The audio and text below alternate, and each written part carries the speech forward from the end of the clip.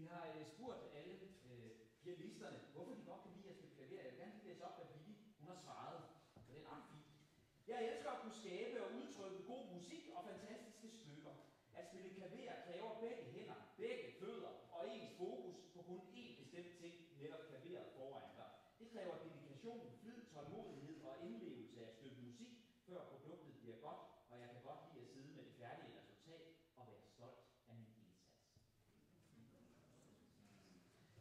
Vi skal uh, spille Rachmaninoff uh, for os i dag. Det er første skal høre Rachmaninoff, men bestemt ikke sidste.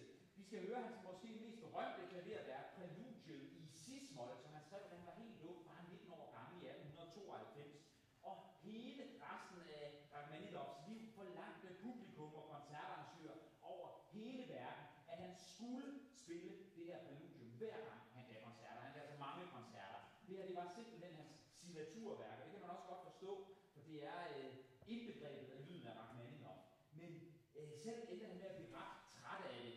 Jeg har altså også skrevet andet end det her cis-mol sagde han smilende. Øhm, efter Rachmaninoff skal Vivi stille et præludium af den polske pianist og komponist Milos Markin. Og Vivi siger selv om stykket, Markin lagde meget vægt på det musikalske frem for det tekniske, hvilket man kan høre i det meget energiske og dynamiske udtryk i dette stykke. Jeg synes, det er livligt og sjovt, det er lidt skævt og